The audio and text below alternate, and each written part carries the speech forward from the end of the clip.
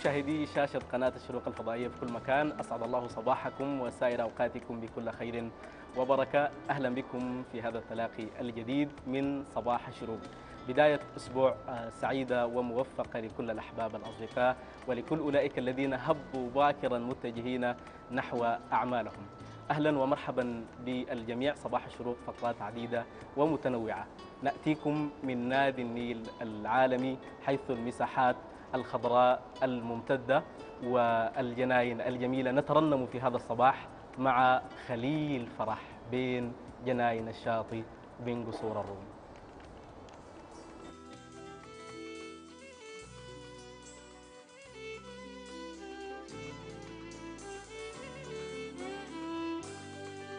فوق جناين الشاطئ بين قصور الروم. حي زهرة روم أبكي يا فوق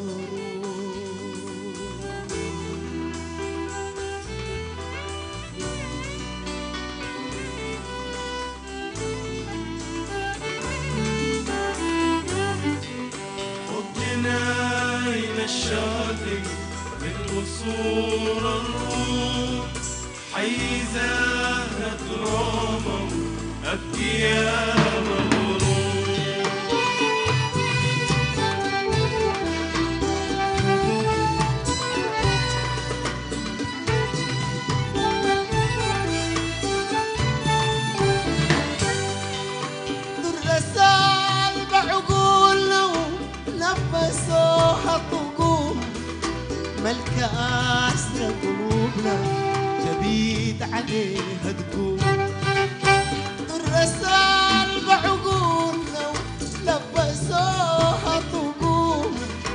ملكة أسرى قلوبنا تبيد عليها تقوم في الطريق مرت بالخلوق مسحوق. كالهلال الهلا الناس عليها تحوم فوق جناين الشاطئ من قصور الروم حي زهرة روما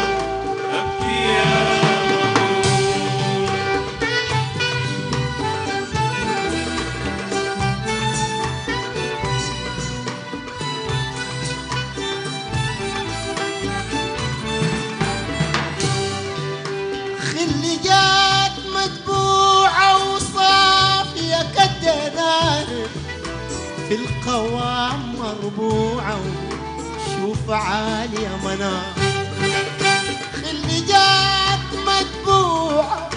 وصافية كالدنار في القوام مربوعة وشوف عالية منار.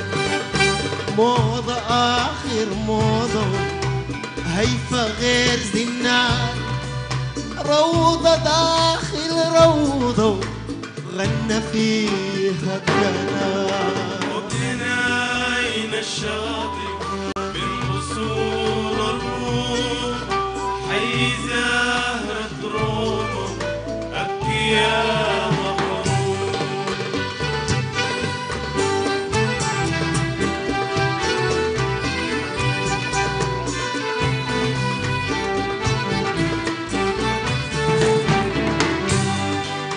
شوف عناق الديسة تقول عنب في كراب شوف وريد الماسل زي زجاج الروم شوف عناق الديسة تقول عنب في كراب شوف وريد الماسل زي زجاج الروم القوام اللادي والحشا المبروك.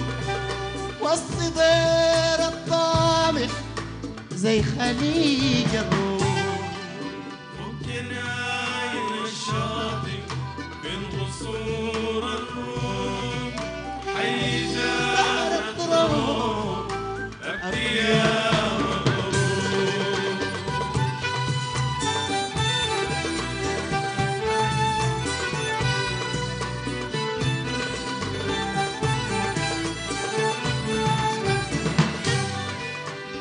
جبين الهلا ضوى فوق فنا منه هلا شارع منه بقونا شوف جبين ضوى فوق فدار منه هل الشارع منه بقى ونار والعمام تتقابل زي نهيب النار تحرق قلبي تهابل والبعيد في النار. ليلى فوق يا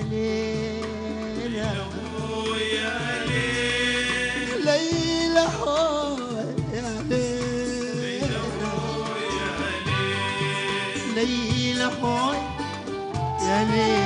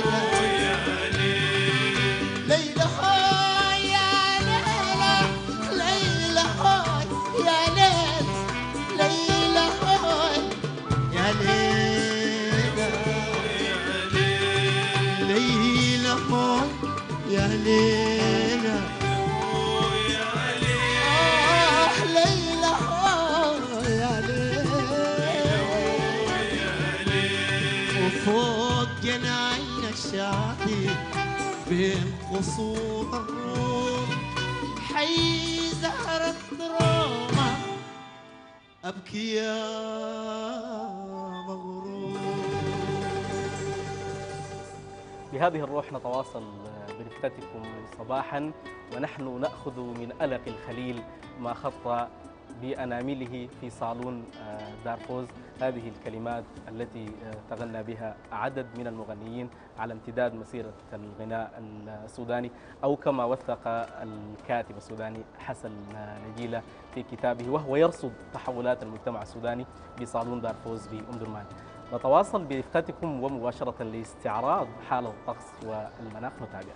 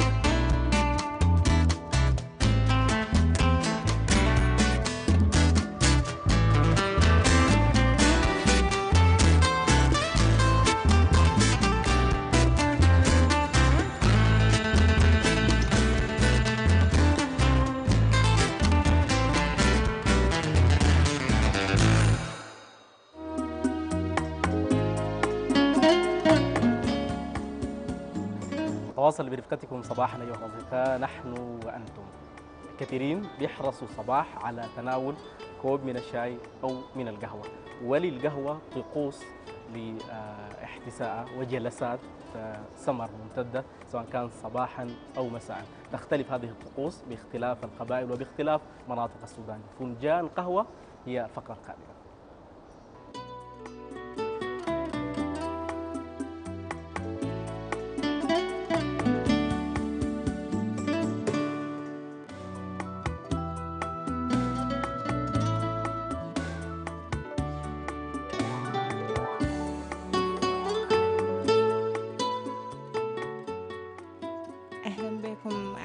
المشاهدين وأهلا بقناة الشروق اللي أنا مشرفانا ومنورانا. أنا لمياء عادل ممثلة. بس والليلة رحب بضيفتي روزالين مجاهد برضو ممثلة زميلتي في العمل وكده. أهلا بك يا روز. شرفاني طبعا الليلة. طبعا يا جماعة أنا والله زعلانة زعل من روزالين دي. احتمال لي شهرين ما شفتها. زعلانة منها شديد. يعني كان في خلافات كده والحمد لله. الليلة الخلافات اتحلت يعني نورتني وشرفتني. المفروض نحن نكون يعني زملاء كثيرين بس الليلة في ناس شغالين جامعة وكده ما جو. يعني و... إحنا بنتلاقى كل مرة في الأسبوع. يعني محددين لنا يوم بنتلاقى فيه عليكم. بشكر قناة الشروق اللي مشرفانا أنا والأستاذة لمياء عادل زميلتي في العمل آه معاكم الممثلة روزاليندا مجاهد آه والله أنا عارفة نفسي مقصرة شديد مع لمياء لأنه طولت ما لاقيتها في الليلة قلت أجي أزورها في بيتهم آه وفي قعدات الجبنة. طبعا نحن بنتلم إلا قعدة ولا كده لأنه أي زول بشغله وبجامعته ويعني ما بنتلاقي إلا صدفة في الجبنة ولا كده. والله قعدات الجبنة دي أسمح قعدات يعني فيها بنتلمى وبنحل الخلافات أي خلاف بين زول والتاني بنحله ما إلا أنا ولمياء فعندنا زميلاتنا كتيرين بنكون في بيناتنا خلافات بنحلها. والونسة والقعدة واللمة أحلى شي بتكون في الجبنة. ده الهدف من الونسة. والهدف من اللمة والقعدة. آه فأنا مبسوطة شديد إني لقيت الزميلة ميا- لمياء عادل. وبتمنى بتمنى كنت إنه الزميلة ميادة عثمان تكون معانا. بس للأسف هي ما جات ما لقت طريقة. آه ف لمياء كيفك؟ كيف عملك مشتاقة لك شديد شديد شديد شديد.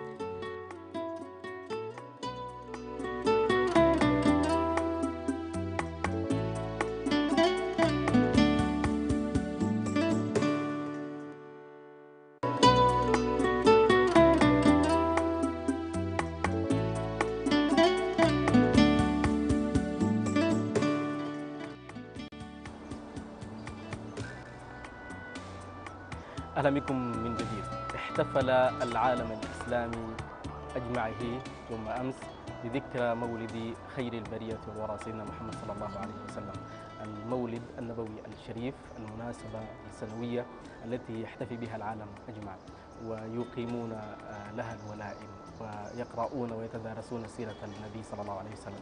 هنا في السودان تحرص الطرق الصوفية والجماعات المتصوفة على الاحتفاء بهذه المناسبة بشتى الطرق. آه، ندعوكم في المساحة القادمة لمتابعة هذه الاستطلاعات التي قمنا بها في قناة الشروق لنعرف محبة النبي صلى الله عليه وسلم كيف هي متجذرة في قلب الشعب السوداني. نتابع.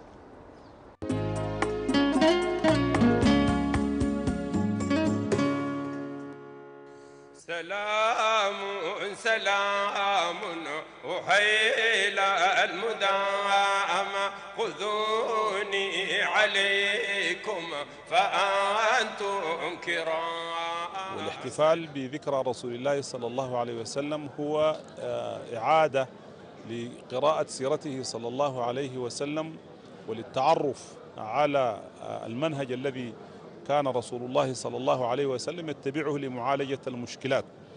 ورسولنا هو خاتم الأنبياء والمرسلين. لا شك أنه أتى آه، برسالة تتضمن أصول الرسالات السابقة. جاءت رسالة لكل العالمين تعالج مشاكل الإنسانية كلها. وكان صلى الله عليه وسلم له منهج وهدي في التعامل مع البشر مع الأطفال مع النساء مع الرجال مع المخالف له مع المتفق معه.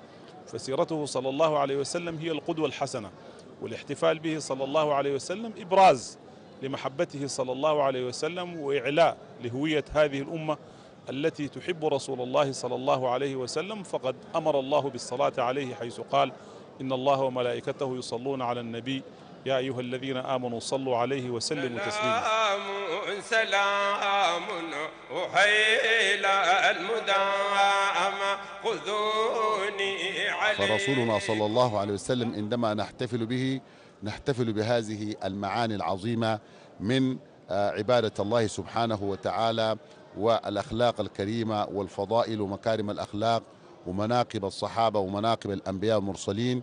لأن فيهم هدي وفيهم السلوك القويم وفيهم التربية وفيهم التعليم. نقتبس من ذلك من قوله تعالى لقد كان في قصصهم آه، عبرة لأولي الألباب. ما كان حديثا يفترى ولكن تصديق الذي بين يديه وتفصيل كل شيء وهدى ورحمة لقوم يؤمنون. سلام سلام أحيل المدام خذوني عليه اولا آه، الاحتفاءات بالنبي عليه الصلاة والسلام هي احتفاءات آه، يحتفي المحبون في جميع أصقاع الدنيا بالنبي عليه الصلاة والسلام. وهذا ما يعبرون به عن فرحتهم بميلاده عليه الصلاة والسلام. إذ أن ميلاد النبي عليه الصلاة والسلام أول من احتفى به الله سبحانه وتعالى حيث جبريل في السماوات مجد يعلن البشرى بولادة أحمد وتوالت بشرى الهواتف أن قد ولد المصطفى وحق الهناء. فحق للأمة المحمدية أن تفخر وأن تفرح برسولها ومصدر عزتها وقوتها. سلام سلام أحيل المدام خذوني نحن لا. نقول أن الاحتفال بمولد النبي صلى الله عليه وسلم عيدا لأن أعياد المسلمين معروفة. وكما قال علماؤنا فإن يوم مولده صلى الله عليه وسلم هو أفضل من العيد. صرح بذلك علماؤنا ولكنها عادة طيبة من عادات المسلمين.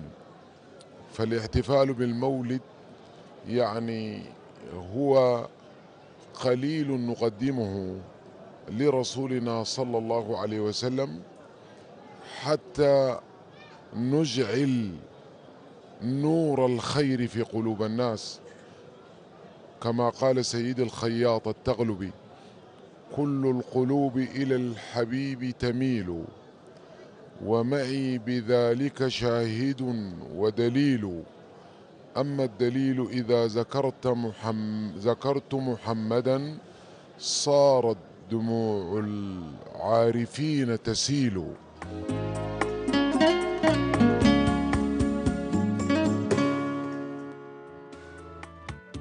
أهلا ومرحبا بكم من جديد من هذه الأجواء المفعمة بالروحانيات والمحبة للحبيب المصطفى صلى الله عليه وسلم.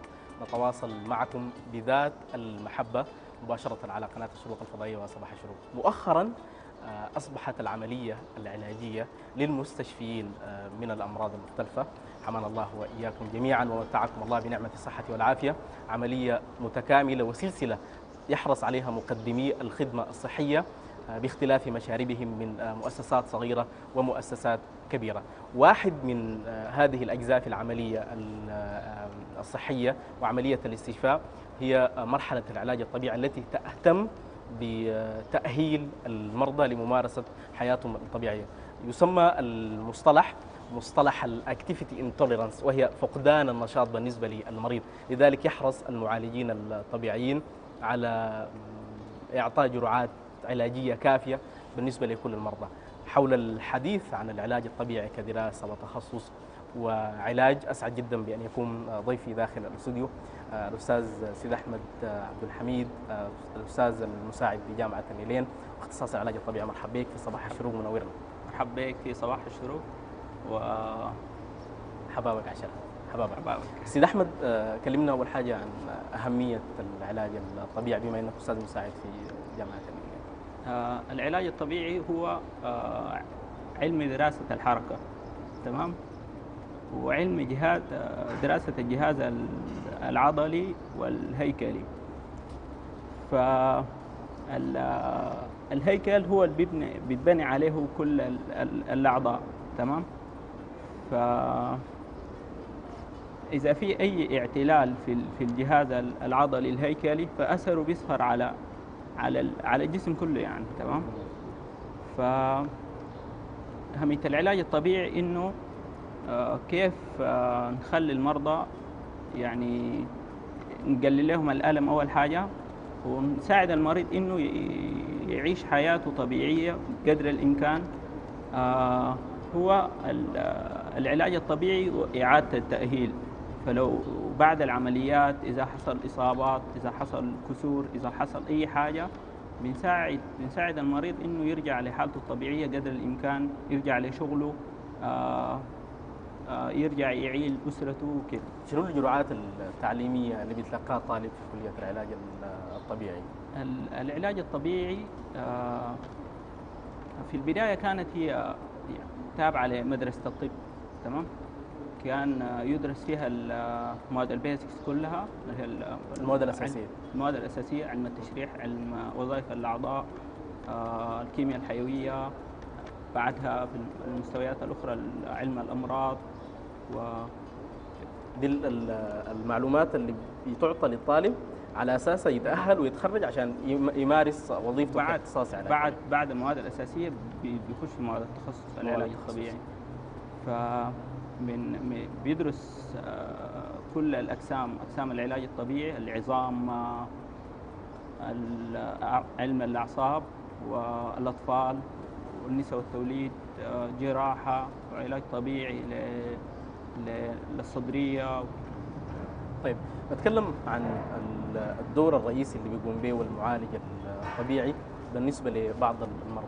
دوره شنو كعامل رئيسي في مرضى الشلل أو الناس اللي بيصيبهم عطب في آه، أعضائهم سواء كان الأعضاء العلوية أو السفلية كان في ايديهم أو في ارجلهم طيب. ال- العلاج الطبيعي آه، له دور أساسي في في في الشلل خصوصا يعني. تمام فهو بعد ما حالة المريض يستغر وجاته جلطة إما أنواع الجلطات إما نسفية أو انسدادية. فالعيان بيكون خلاص بعد ده بي- بيخش مرحلة العلاج الطبيعي طوالي أول ما الحالة تستغر حتى لو كان في في اليوم الأول. تمام؟ بعد ذاك آه، بنبدأ نزيد نزيد هو بيفقد الإحساس في ال في ال في جزء من الأجزاء. نصف الجسد, الجسد. تمام؟ فبنحاول أول حاجة نرجع الإحساس. مع الإحساس بيرجع الحركة. تمام؟ 200 بيبدأ الدور الرسمي لإختصاص العلاج الطبيعي فيما يلي مرضى الشلل. يعني أول ما المريض دخل وكتبوا له العلاجات الرئيسية اللي هي الأدوية بيبدأ طوالي دور العلاج الطبيعي ولا العلاج الطبيعي بيبدأ بعد مرحلة معينة من تناول الأدوية. بعد بعد آه، بعد ما ياخذ الأدوية والحالة تستغر يعني أول حاجة العيان بيتشخص إما ب ب MRI أو CT رنين أو رنين مغناطيسي. مقطعية. مهم. بعدها آه، بيبدأ آه، الدكتور بيشخص وبيكتب الأدوية بياخذ الأدوية. حالته تستغر بعد ذاك بيبدأ دور العلاج الطبيعي. فمرضى الشلل بي يعني تأهيلهم بياخذ زمن تمام؟ على حسب آه، كمية الضرر الناتج في الدماغ. فكل ما كان الضرر كبير كل ما كان ال- ال- العي- العيان آه، يعني مضاعفات ال- الجلطة كبيرة كل ما العيان بياخذ زمن في التأهيل. ف يعني محتاج صبر صبر شديد. والصبر ده بيحتاج وعي من المرافقين لل- للمريض وبالنسبة لأهله. معظم الناس بيتخيلوا إنه العلاج الطبيعي ده عبارة عن دلك فقط. بالنسبة لهم في مفهوم إنه خلاص عملوا لك كتبوا لك جلسات بتاع دلك لمثلا اليد المشلولة أو الجزء الأسفل المشلول أو غيره. أهمية توعية المجتمع ذاته بموضوع العلاج الطبيعي. دوركم أنتم في عملية ال- التوعية والشرح. معروف إنه أي عملية آه، أو خدمة علاجية بتقدم للمريض بتشرح للمريض وبتشرح لمرافقين المريض ال- الدور التوعية مهم شديد لأنه ال- المرافق لو لو ما كان مدرك لل- للخطة العلاجية ومدرك للمرض ذاته فهو ما هيصبر فبالتالي أول حاجة بنبدأ بها بنقعد مع المرافق نشرح له ال- الخطة العلاجية كلها ومراحل المرض اللي بيمر عليها. آه بعد ذاك هو بيكون في الصورة يعني عارف نحن بنعمل في شنو. آه تاني ال- العلاج الطبيعي بي- بيستخدم وسائل آه فيزيائية وتمارين علاجية. طيب واحدة واحدة كده اشرح لنا الوسائل الفيزيائية دي. والطبيعية. عليك. طيب الوسائل الفيزيائية جاية من الفيزياء. اسم أصلا اسمها العلاج الفيزيائي أو العلاج الطبيعي. آه. ال- الوسائل الفيزيائية دي آه، التحفيز الكهربي آه، بنستخدم الحرارة في- في بعض الحالات يعني ما ما إلا الشلل. بنستخدم آه، جهاز بتاع موجات فوق صوتية آه، بنستخدم العلاج المائي العلاج بالليزر دي كلها من الوسائل المستخدمة. طيب نحن نحن مسكنا جزء بسيط وهو آه، دور العلاج الطبيعي بالنسبة لمرضى الشلل وال- والجلطات. دايرين نركز أكثر على دور العلاج الطبيعي. شنو الخدمة اللي بتقدم لمريض الشلل أو مريض الجلطات؟ بعد ما خلاص كتب للمريض في الوصفة الطبية علاج طبيعي. تحديد الجلسات نوع العلاج اللي ممكن ياخذه آه، مريض الشلل أو مريض الجلطه آه، دور العلاج الطبيعي بي- قلنا بيبدأ من من ما يتشخص هو في في المستشفى بعد ما العيان يطلع في البيت بعد ذاك آه، ممكن يمشي على ال outpatients اللي هو ال clinic. أو حوادث. في في شركات بتاعت خدمات منزلية رعاية منزلية بي- بيجوا للمريض في البيت ويواصل جلساته يعني. تمام؟ آه خلينا نتكلم عن عن جانب المستشفى. يعني خلاص المريض آه، مرقدينه في المستشفى وجاء الاختصاصي كتب له إنه يا أخي بمرافقة ال- الأدوية الطبية والعقاقير الطبية أيوه. عندك جلسات علاج طبيعي. نوع الجلسات اللي ممكن ياخذها المريض شنو؟ هل آه، هي جلسات تدليك أو موجات فوق صوتية آه، تماس كهربائي زي ما ذكرت قبل شوية؟ يا نوع يعني. طيب. في في المستشفى والعيان لسه يا دوب في العناية إحنا آه بنستخدم يعني علاج يدوي بيكون محصور على اليدوي. طيب آه من ضمن هت- التمارين تمام؟ بن بنعلم العيان كيف كيف هو يتقلب في السرير ذاته بعد ما يجيه شلل بنعلم العيان كيف يتحرك كيف آه يقعد كيف آه يحاول يقوم لحد ما هو المعلومات دي بتملكوها لل- للعيان ولا للمرافق للعيان؟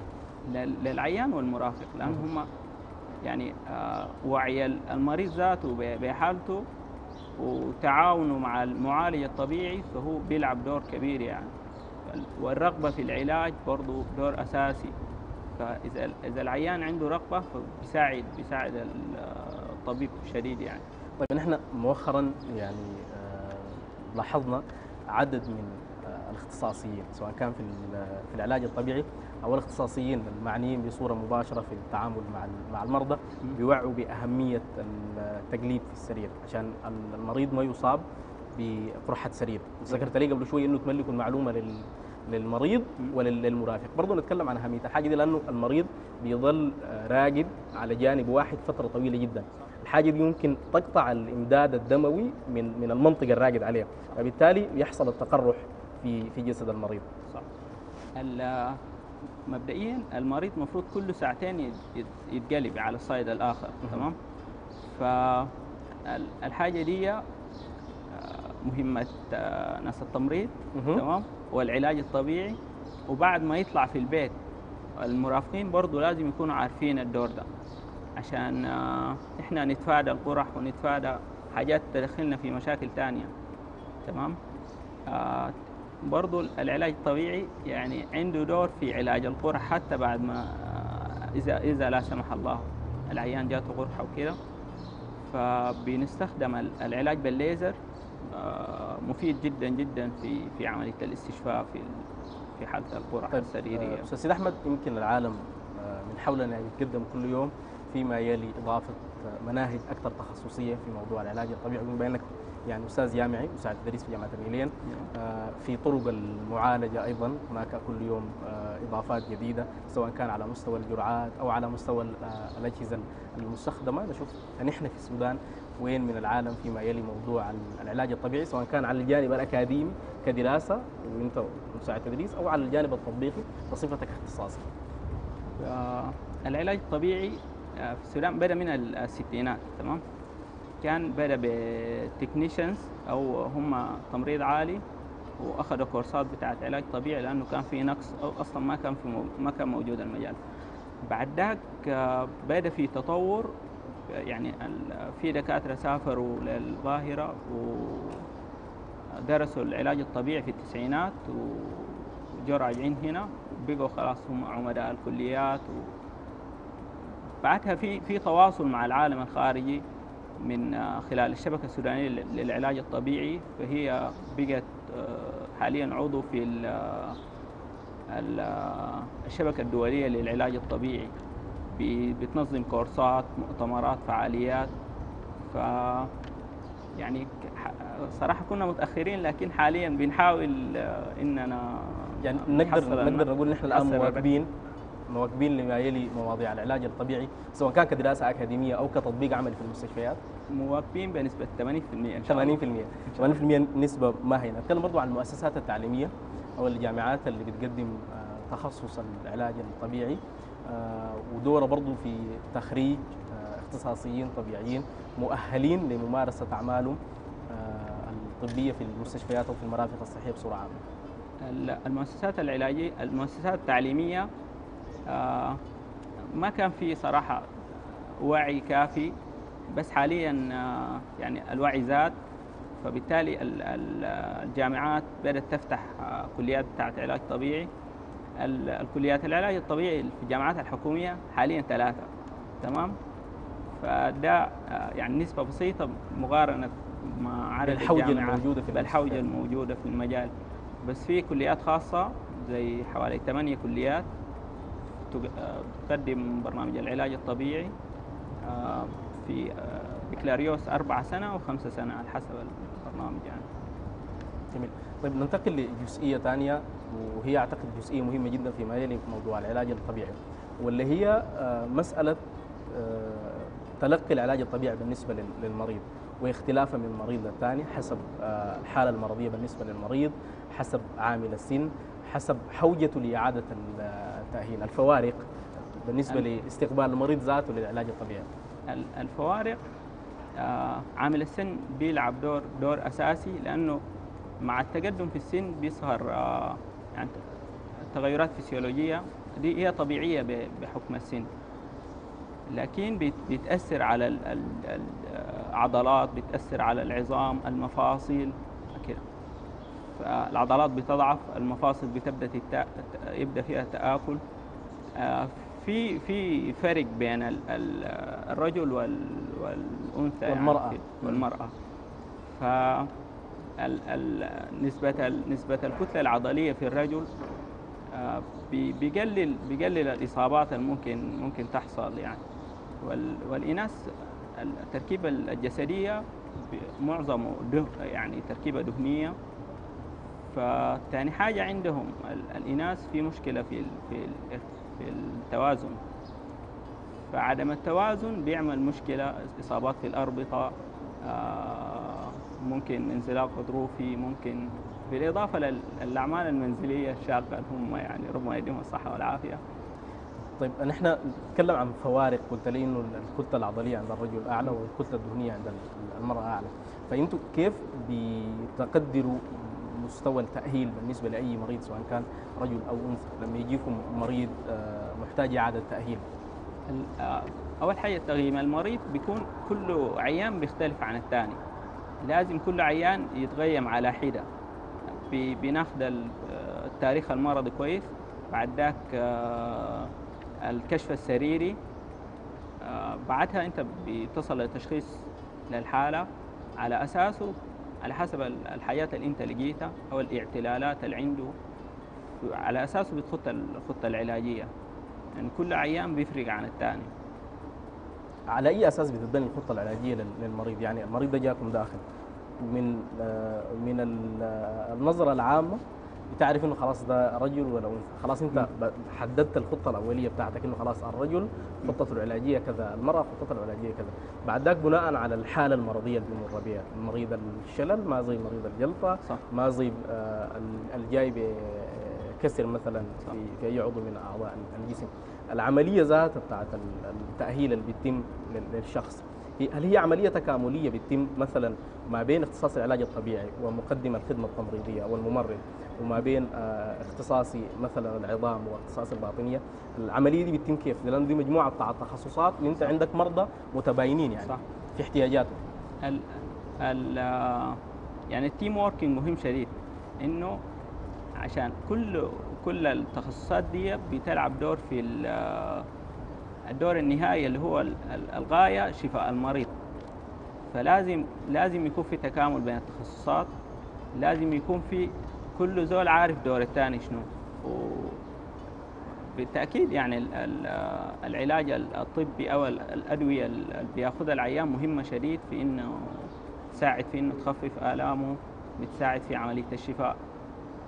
فهنا في السودان يعني عندنا مشكلة بتاعت ال team working ما ما في team working زي زي برا. فإن شاء الله لقدام الناس آه، تتعاون يعني في كله بيصب في يصب في مصلحة في ال- المريض. نتكلم شوية عن أقسام العلاج الطبيعي. أقسام العلاج الطبيعي هي هي أقسام طب نفسها. هي العظام والأطفال والأعصاب النساء والتوليد الجراحة آه، باطنية آه، ثاني الإصابات الرياضية. هذه كلها أقسام ال- الأقسام دي يعني في تخصصية. طالب العلاج الطبيعي لما يتخرج بيكون هو ملم بكل الأقسام دي ومؤهل لأنه يتعامل مع كل قسم أو مريض في كل قسم بعدها التخصصية بتجي في برنامج الماجستير. بتتخصص على حسب الحاجة اللي أنت عايزها وبتمشي عليها وكده. في نقطة مهمة جدا أستاذ أحمد لا بد من إنه الزول يقف عندها. وهي آه، النقطة المركزية اللي بيعمل على أساسها اختصاص العلاج الطبيعي. بيكون مهتم بشنو؟ أول ما يسلموه آه، مريض محتاج لإعادة تأهيل أو محتاج لعلاج آه، طبيعي. معروف إنه يعني مثلا إذا جاء آه، عيان في الحوادث لزول بيقوم بيعملوا له الإسعافات الأولية. مم. كويس؟ أو مثلا يقيسوا له العلامات الحيوية. فأنتوا عندكم شنو النقطة المحورية اللي بتنطلقوا منها؟ إحنا ال- ال- ال- الخطة العلاجية ذاتها بتتقسم. اول مرحله في الخطة العلاجية إنه آه نقلل الألم لأنه ال- ال- المريض ده جايك بسبب الألم تمام؟ الألم أول حاجة الألم اول حاجة إذا أنت ما قللت الألم ما بتقدر آه، يعني ال- المريض ذاته ما بيتعاون معاك عشان أنت مثلا تعمل له تمرين عشان تقوي عضلة ولا كده. اللي هو أول حاجة بنقلل الألم بنزيد مدى الحركة بعد ذاك آه، بنبدأ برنامج التقوية وتمارين الاستطالة وكده. تقليل الألم بيتم بوسائل منها ال electrical stimulation تمام؟ التحفيز الكهربائي. التح- التحفيز الكهربائي. آه وفي الموجات فوق الصوتية برضه بتقلل الألم استخدام الحرارة سواء كان آه باردة كمادات باردة أو ساخنة برضه بيقلل الألم. آه بعد ما قللنا الألم في تمارين بتتعامل لزيادة الحركة زيادة مدى الحركة في في المفصل المعني يعني أو في في آه منطقة الإصابة. مع زيادة مدى طيب الحركة. ال- التمارين دي آه، هل هي تمارين موحدة لكل ال- المصابين ب- ب- بحاجة معينة؟ يعني مثلا أصحاب كسور آه، الأرجل واحدة أصحاب كسور الأيدي واحدة ولا التمارين بتختلف حسب نوع الإصابة وحسب سن المصاب بتختلف بالتأكيد لكن إحنا بنشتغل على المفاصل فكل مفصل له له تمارين بتاع مدى حركة معين أو على حسب ال- ال- الميكانيكا بتاع المفصل نفسه. فما بيختلف آه، يعني من من زول لزول لكن بيختلف في الغالب التمارين هي هي بس ممكن تزيد آه، عددها أو آه. تقل حسب حالة المريض. طيب نواصل ال- الخطة العلاجية بالنسبة للمرضى؟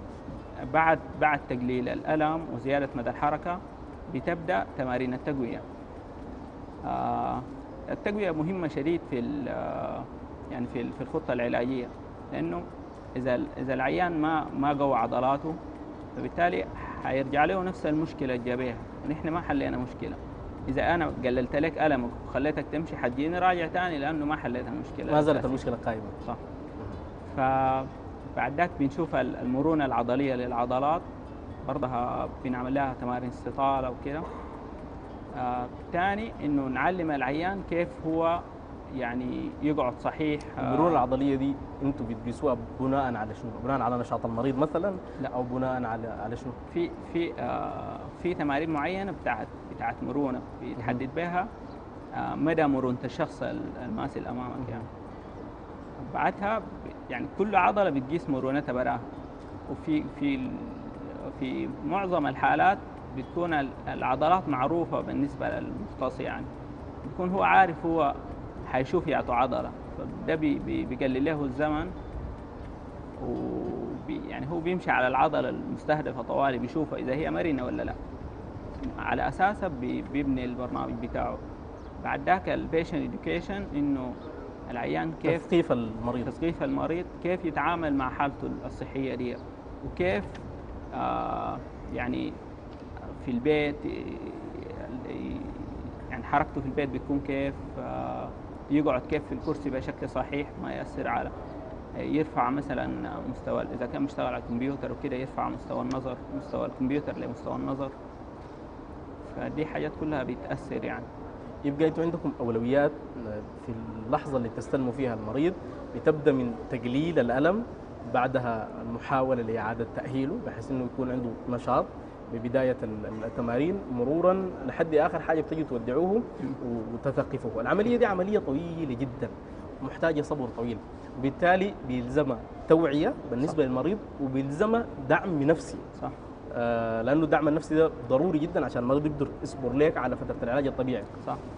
فنحن يعني ال- المريض أول ما يجيك آه لازم تستقبله ببشاشة ويرتاح لك. لأنه لو ما ارتاح لك ما حيتحسن وما حيسمع كلامك وما حيعمل التمارين. ف واحدة من واحدة من ال- الحاجات الأساسية إنه زول يقدر يتعامل المريض مع المريض كيف؟ ويقدر آه يعني يخليه يرتاح له عشان هو لو عنده مشكلة يحكيها له. لو عنده مثلا في جزء في التاريخ المرضي ما ذكره يقدر يحكيه لك. لو في مثلا آه، مشاكل في مثلا سلم البيت في حاجات في البيت انت ما بتكون عارفها فده دي كلها آه، يعني بت- بتعبر عن مدى الارتياح المريض بالنسبة لل- للطبيب. آه آه، طيب نحن قلت لي إنه محتاج ال- الانطباع الاولي بالنسبة للمريض تجاه الاختصاص. العلاج الطبيعي ارتاح لك ده بيقول لنا النقطة الأولى اللي تكلمنا عنها قبل وهي ال- ال- المعلومات العلمية اللي بتضاف لطالب العلاج الطبيعي. يعني هل بيدرس جزء من علم النفس مثلا أو بيدرس أساسيات التعامل مع المرضى مثلا؟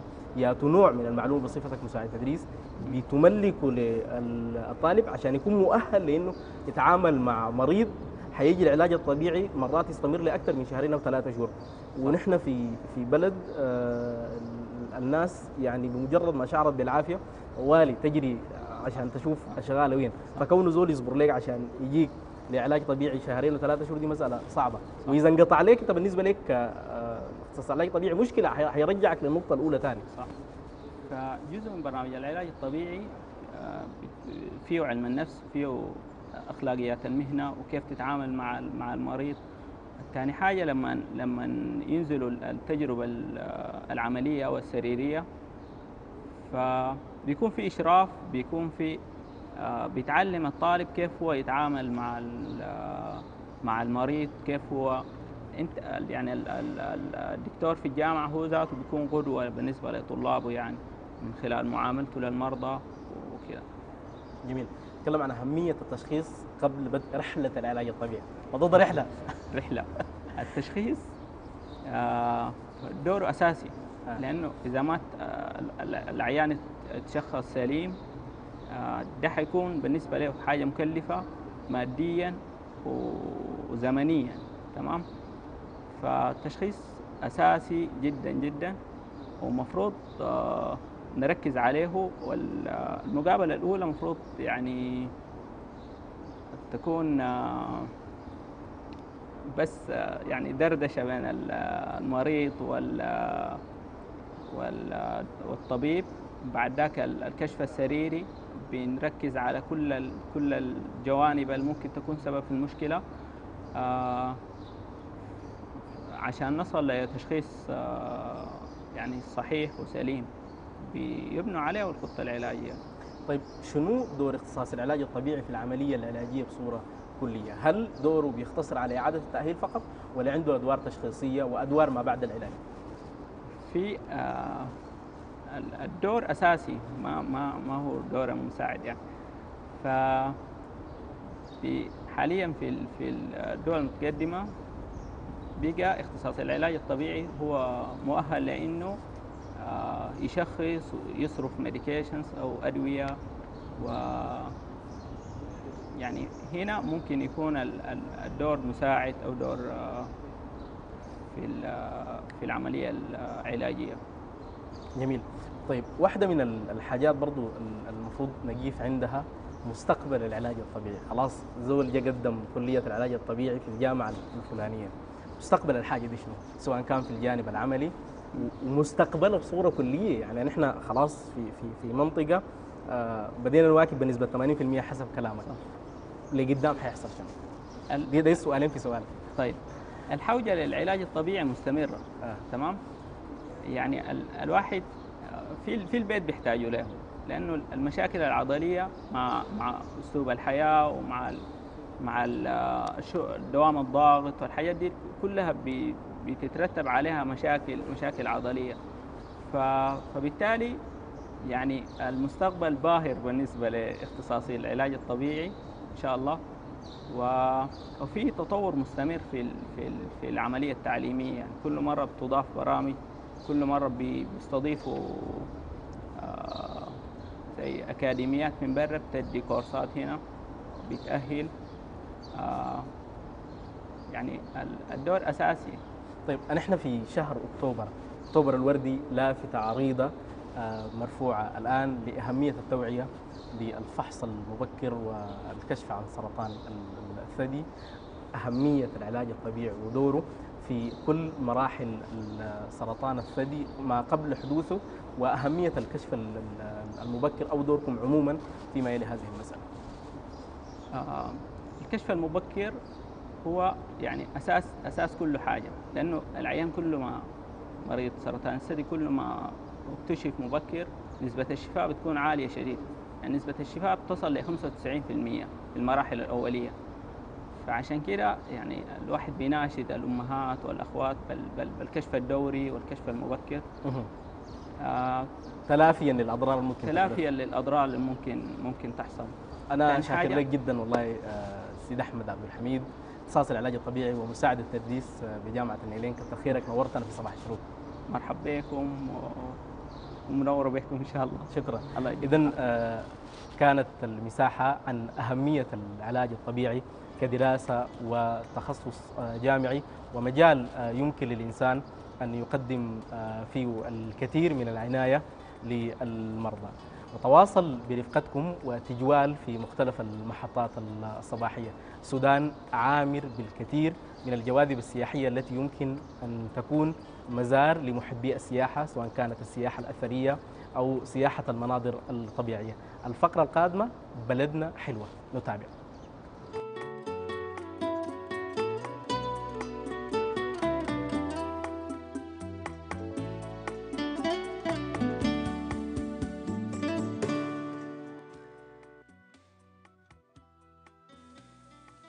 منطقة البوغة أو الجزيرة الباقة هكذا كانت تسمى في الماضي حسب روايات الأهالي المحليين.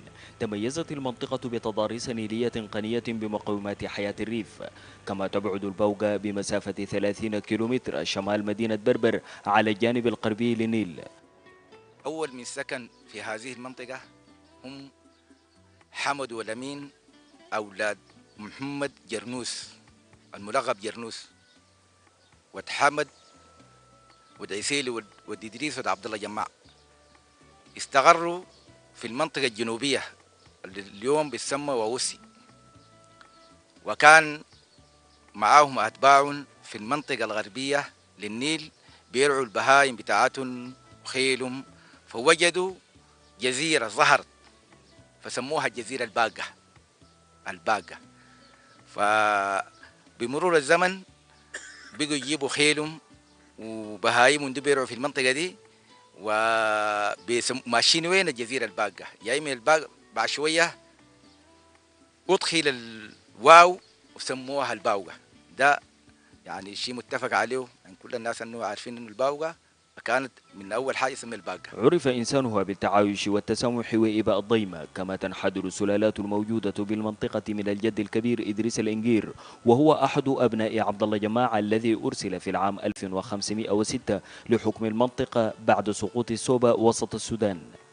أصل الانقرياب في الباوقة. هم أولاد إدريس عبد الله جماع إدريس عبد الله جماع عنده أربع أولاد لما جاء وسكن اولا في منطقة أرتولي. عنده أربع أولاد هم آه، صقر وعبد الدايم وعسيلي ووديدي. فالأربعة ديل آه، جزء منهم آه، في التولي والغالبية العظمى في الباوغ أولاد وديدي وأولاد عسيلي وبرضه في منطقة الجول ومنطقة فتوار. الأسر دي يعني آه، طبعا آه، انتشرت الآن وجزء منهم يعني في ال- الخرطوم في عطبرة وغيرها. تعدد نظام الحكم والإدارة بالبوغا ما بين التقليدي والحديث وكانت الزعامات التقليدية القديمة هي التي تدير دفة الحكم المحلي إلى أن جاء النظام التمثيلي الحديث. العمودية هنا عندنا إحنا اللي عشنا فيها في التكاوين منطقة التكاوين دي الجنوبية جنوب الباوغة دي المنطقة اللي كان العمدة الكبير محمد عثمان محمد عثمان الطاهر. وحس وبعده لما توفى مسك ولده عثمان أخذ فترة.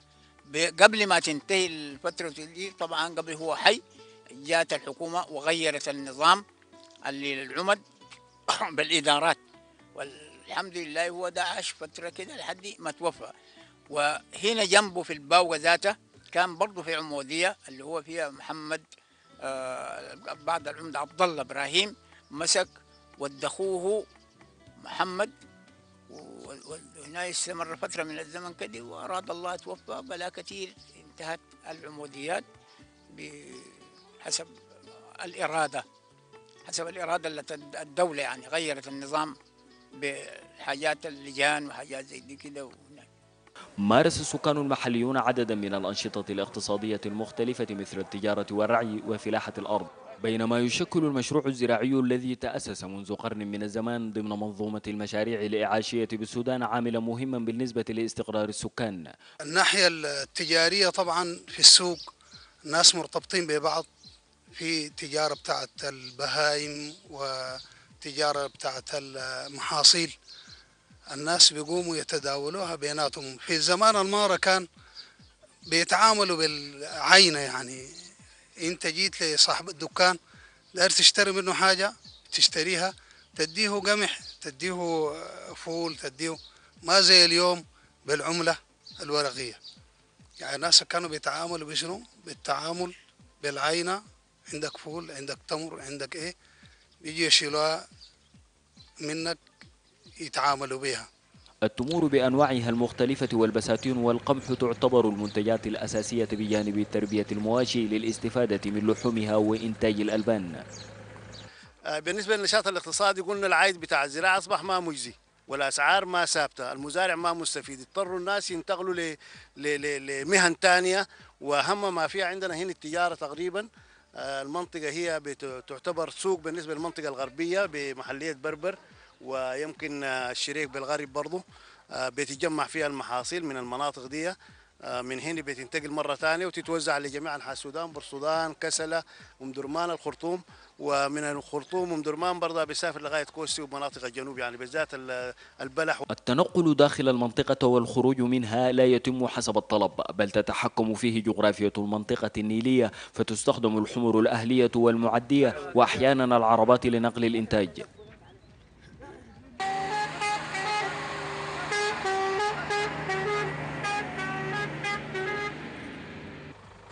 سكان المنطقة ودودون وطيبون فاكسبتهم خبرة الحياة الطويلة كيف يتعاملون مع مختلف الظروف فتجد المرأة تعمل بجانب الرجل داخل الحقول. وحتى طيور المنطقة تبقى هادئة وساكنة لا تنزعج بمجرد مرور الإنسان. أهالي البوغا عادات وتقاليد قديمة احتفظت بها النساء خاصة خلال الأعياد السنوية ومناسبات الزواج. البنينة لما تقعد في قعدة الجرد يوم الصبحية والعريس يجيبوا له صينية حقة الجرد طبعا الصينية ده بيجيبوا عداسة بيجيبوا مزخرفة بالسلفان والورود وحاجات جميلة ويخطوا الدلكة والبخور والعطور ويجرتقوا العريس يدلكوا بالدلكة. حبوباته وخالاته بيجيفن يمجدنه إنك أنت من قبيلة كده وجدك كده وأبوك كده وعمك كده. دي البنين دي قاعدة الجرتي بعدين السيرة ما خلوها. السيرة بيصيروا. لا الان ده بيصيروا ويصيروا لكن السيره عست عكست بقت من أهل العروس لأهل العريس.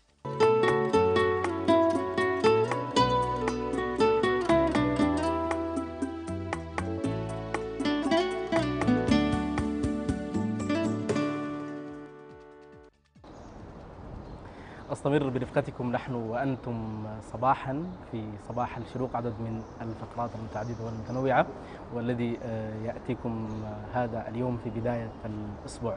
الآن نطلع فاصل نجي راجعين.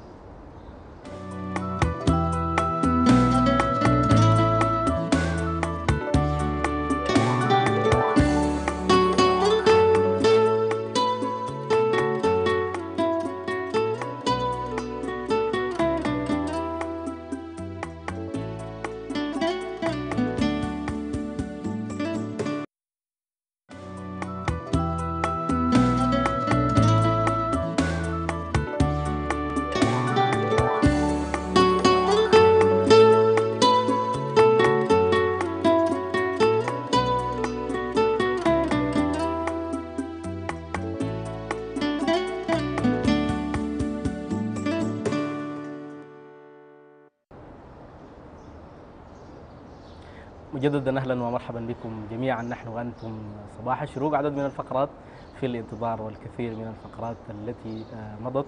أهلا بالجميع. الآن آه، ننتقل مباشرة إلى موجز بأهم وآخر الأنباء. نرحب بالزميله إكرام محمد عبد الله.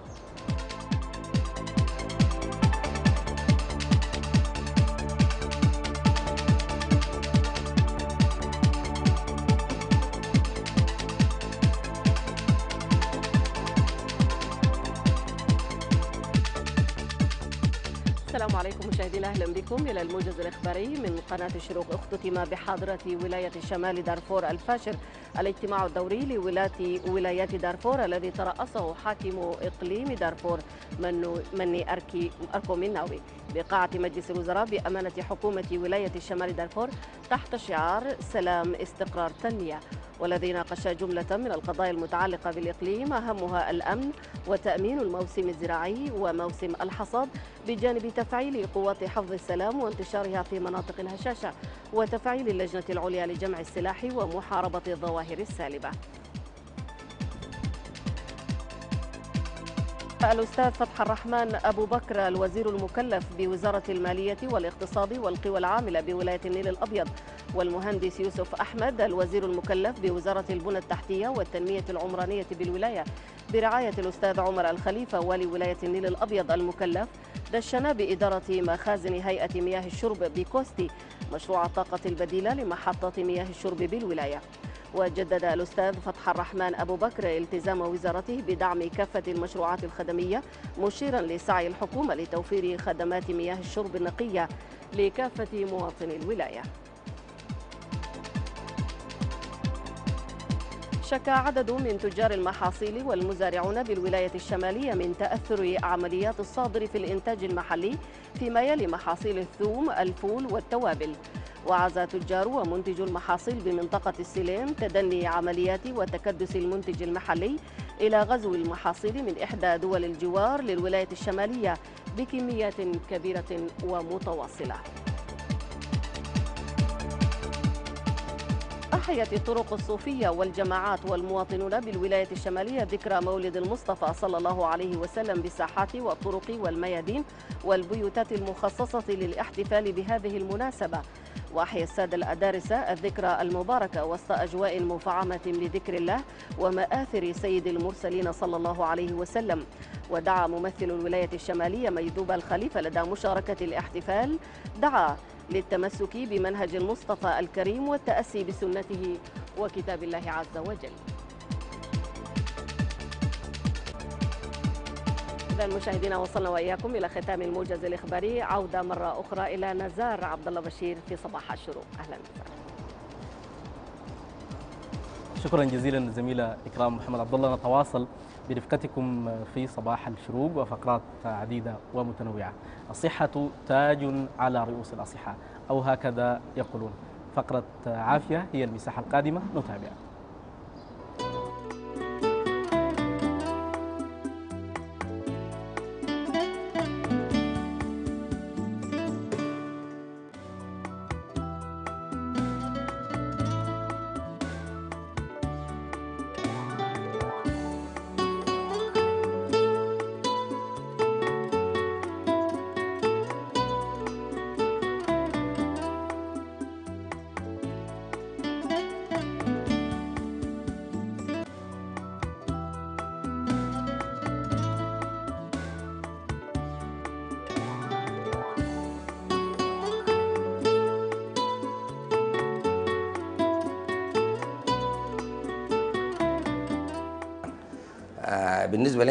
نحن بنعتبر العين يعني من أكثر الحواس اللي ربنا سبحانه وتعالى كرم بها الإنسان. والعين مسؤولة من هي أكثر الحواس قيمة ما بنقول يعني باقي الحواس ما مهمة لكن العين بالنسبة لنا حتى في المخ مستلمة أكثر من نص المخ يعني في المساحة التوزيعية. مسؤولية العين هي الإبصار والنظر. وعشان تكون العين سليمة لازم يعني نقدر نحافظ عليها. ربنا حاب العين بوسائل دفاعية طبيعية من خلق ربانية عمل لها جفون خارجية تحميها من البيئة البرة عمل لها طبقة دموع سطحية عشان تخلي سطح العين رطب عشان نقدر نحافظ على الوسيط الأمامي من العين إنه يكون شفاف تماما. نحن عندنا في السودان ربنا حبانا بفصل يعني بطقس صيف حار وشتاء وجاف وخريف ورطب. دي ممكن تعمل متغيرات في سطح العين بالذات للناس اللي بيشتغلوا لأنه اغلب اهلنا ناس رعاة وناس مزارعين. إحنا بننصحهم بانه لما يتعرضوا لأشعة الشمس الخارجية يعني يا ريت يوقعوا عيونهم بنظارات شمسية حماية من الأتربة والبيئة الخارجية.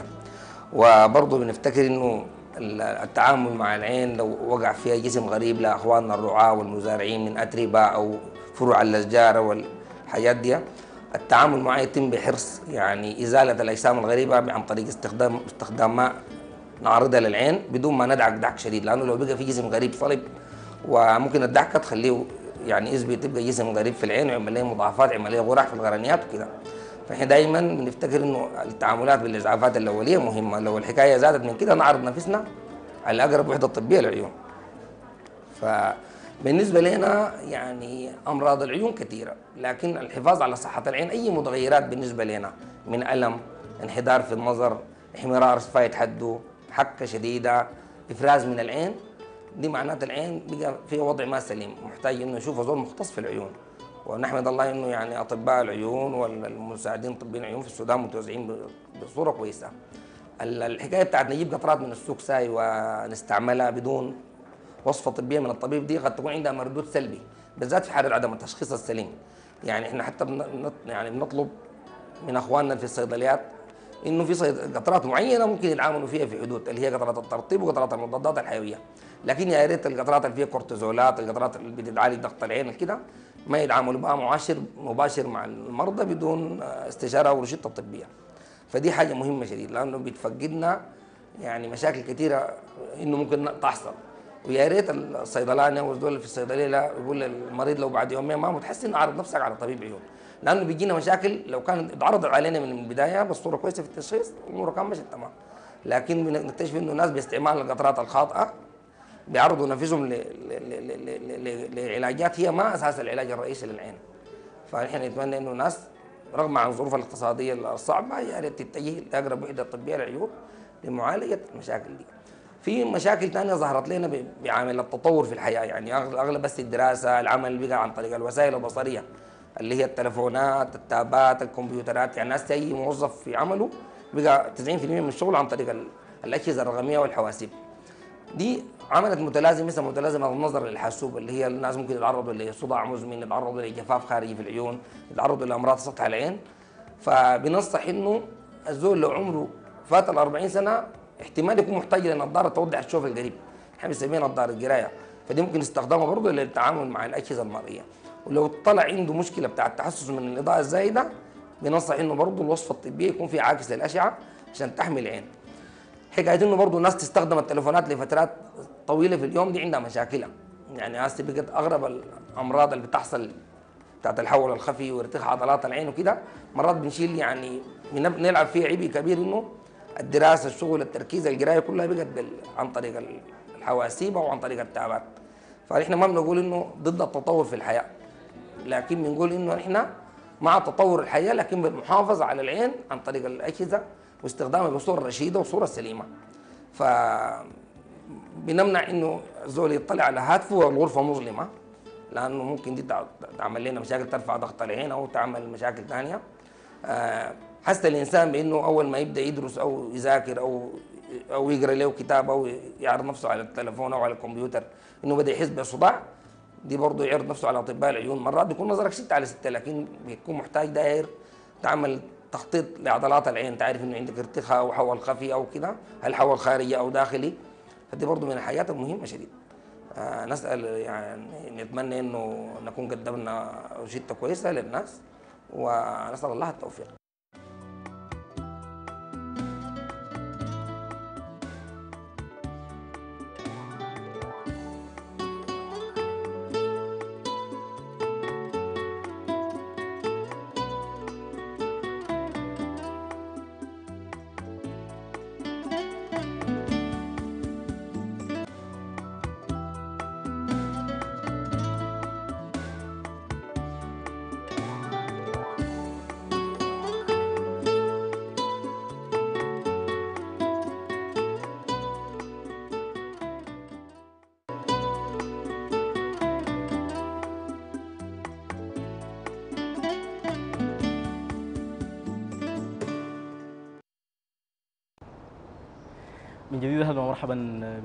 متابعي صباح الشروق فقرات عديده ومتنوعة. أسبوع آه، حافل بعدد آه، من المباريات اللي كانت آه، في دوري أبطال إفريقيا وبداية أسبوع موفقة بالنسبة لعدد من الفرق السودانية. فقرة التحليل الرياضي أسعد جدا بأن يكون ضيفي داخل الاستوديو الصحفي الرياضي طاهر صالح حبابك عشرة مرحبا بك. مرحبا بك يا زميل نزار ومرحبا بالمشاهد الكريم آه، خلينا نبدأ مباشرة بنتيجه الهلال السوداني يوم أمس وتعادلوا آه، بهدف لهدف آه، مع الشباب التنزاني في آه، تنزانيا. النتيجة اللي فرحت جمهور الهلال باعتبار إنه أجل الحسم إلى ام درمان بكل تأكيد النتيجه أنا أشوفها طيبة جدا بالنسبة للهلال. فريق طامح من الوصول لأدوار متقدمة جدا من بطولة أبطال أفريقيا. حقق تعادل أمام فريق عنيد. مباراة سبقتها هنات كبيرة سبقها شد وجذب إعلامي خاصة من قبل الفريق التنزاني اللي بيتمتع بحاله إعلامية كبيرة جدا. لكن آه، مدرب الهلال فلوران قدر إنه آه، قدر إنه بيقرأ الملعب صح بيدفع بالتوليفة المناسبة. في النهاية امتص حماس أصحاب الأرض وطلع تعادل سمين جدا. حيخدم وحيكون له آه، أثر كبير جدا من خلال مباراة الاياب الكثير من المحللين الرياضيين يتكلموا عن سوء الطالع اللي لازم لعيبة الهلال بأعتبار إنهم ضيعوا عدد من الفرص، كيف تقرأ مباراة الأمس من جانب فريق الهلال؟ والله يعني ممكن هم قد لا يكونوا متوقعين أصلا إن المباراة بتقلل للفرص اللي ضاعت من خلال ال- ال- الجزئية الأخيرة ممكن نقول كان في عدم الفينش بالنسبة لهجوم الهلال. وده الإشكال كبير إنه بعاني منه معظم الأندية السودانية حتى عن المنتخب السوداني. إحنا بنعاني أو نفتقر للاعب رقم تسعة اللي بيعمل فينش اللي بيجيب آه، الأجوان. فده ده إشكال كبير جدا. كان في تسرع كان في سوء طالع كان في سوء تمركز كان في أنانية زايدة من قبل نجوم الهلال خاصة آه، داخل خط 18 ودي شيء- آه، ودي في الدقيقة 76 كانت الفرصة ضايعه من ال- المحترف ال- الكونغولي لوليبو اللي كان على انفراد وكان آه، مغربا منه ياسر مزمل. لو كان لعب الكوره لياسر مزمل الهلال كان قدر إنه بيسجل أكثر من هدف لكن كان في أنانية وكان في سوء طالع عموما. لكن ممكن بقليل من التركيز والتجويد من خلال المباريات ال- من خلال الفترة المقبلة قبل مباراة الإياب الهلال قادر على تجاوز تلك المرحلة. وقادر على تسجيل أكثر من هدف من خلال في مباراة الاياب خاصة اللي بيستقبل الهلال بجماهيره وجمهور الهلال غير. نعم شفنا ملعب مكاب آه، ممتلئ جدا آه، على آخره من خلال مباراة. لكن كان في الاثر آه، قليل جدا احترافية كبيرة بالنسبة لمدرب الفريق وثقه نجوم الهلال. كان في ثبات كبير وأدى إلى زي ما قلت لك امتصاص الحماس واقتلع التعادل. شايف إنه حيكون مفعول سحري لجمهور الهلال ونجوم الهلال داخل أرضية الميدان من خلال لقاء الاياب طيب نتكلم شوية عن إدارة المباراة من قبل مدرب الهلال، كيف؟ هل رأيت إنه موفق كان في إدارة المباراة؟ خصوصا آه، إنه كان خلى البدايل الكروت الرابحة زي آه، الغربان الرحمن فلوران مدرب خبير على مستوى القاره الأفريقية كان ضربه معلم آه، قبل ما الموسم يبدأ أصلا إنه مجلس اداره نادي الهلال تعاقد مع مدرب كبير على قرار فلوران اللي حقق نجاح كبير جدا حقق بطولة آه، الكونفدرالية آه، مع فريقه السابق نهضة بركان المغرب. موسم وحيد حقق نجح- إنه بيحقق آه، بطولة الكونفدرالية وكأس العرش المغربي. فمدرب ما سهل جدا ونجاحاته السابقه رفقة منتخب الكونغولي. ونجي للمباراة إنه تفاجأ بكل تأكيد النابي وفاجأ الإعلام التنزاني وفاجأ جمهور يانج أفريكان. اللي كان طامح إنه بيحقق آه انتصار آه ويطلع الفريق آه مبسوط من المباراة باعتبار إنه زي ما قلت لك مباراة الأياب صعبة جدا ولكن كانت المفاجأة الكبرى بإنه ال- ال- ال- اللي دفع به جون مانو وأخفى محمد عبد الرحمن. فنحن ما عندنا مدرب كان إنه بخلي محمد عبد الرحمن على الدكة جنبه ويدفع به بقية العناصر على احترامي لبقية العناصر اللي بجبهة الهلال ولكن مدرب كبير جدا وأخضع النادي في الحتة دي. كان التركيز كله على محمد عبد الرحمن. الإعلام كله كان بيتحدث عن محمد عبد الرحمن. النادي كانت تحذيراته كبيرة جدا آه، خاصه انه يعني ال- الفريق ال- ال- الشباب التنزاني بيعاني على مستوى خط الدفاع في هشاشه كبيره جدا فكان كل التركيز على محمد عبد الرحمن وقراءات من خلال تمارين المباريات الوديه اللي اخذها كان امام موبيل المباراه الاخيره انتهت 2-1 كان تركيزهم كله انه آه، تركيزه إنه كيف بيقفل على محمد عبد الرحمن لأنه محمد عبد الرحمن سوبر زي ما هم عندهم تلاله الهلال عنده محمد عبد الرحمن. لكن زي ما قلت لك إنه إخفاء محمد عبد الرحمن والدفع عليه في الشوط الثاني فكان ذهول كبير وكانت مفاجأة كبيرة جدا. حتى بالنسبة لنا نحن كمتابعين ومؤازرين للهلال كانت بالنسبة لنا مفاجأة كبيرة إنه بيكون عبد الرحمن محمد عبد الرحمن في الاحتياط لكن في النهاية محمد برضه كان داير وقت إنه بيقعد مع نفسه. بشوف في النهاية هو بشر كان ضغط كبير حو- حواليه. من خلال تصفيات امم أفريقيا البطولة امم أفريقيا تصفيات البطولة العربية فضلا عن البطولة العربية اللي كانت في قطر إنه محمد الرحمن ما أخذ ولا راح في النهاية هو هو بشر يعني بيحتاج إنه براجع حساباته. شاف إنه لو هو زل إنه بضيع في الفرص أو مستواه بيعمل ضرب أكيد في مهاجم آخر بيقتنع الفرصه وقادر على آه، حجز موقعه فأحس بخطر. وكان ده يعني انفجار حقيقي في شباك آه، يانجا التنزاني ودي كانت فائده كبيرة جدا بالنسبة للهلال والهلال أكثر مستفيدين في وجود أكثر من عنصر في خانة واحدة. يعني إذا هل بتعتقد إنه المدرب كان موفق جدا في وضع محمد عبد الرحمن في خانة الإحتياطي. ودخوله؟ بكل تأكيد. استراتيجيته عموما البداية المباراة المدرب آه، من خلال ملاحظتنا له ومتابعتنا للمباراة لعب جزء المباراة على تفاصيل معينة بكل ربع ساعة بقراءة معينة بتوجيه معين بتركيز معين.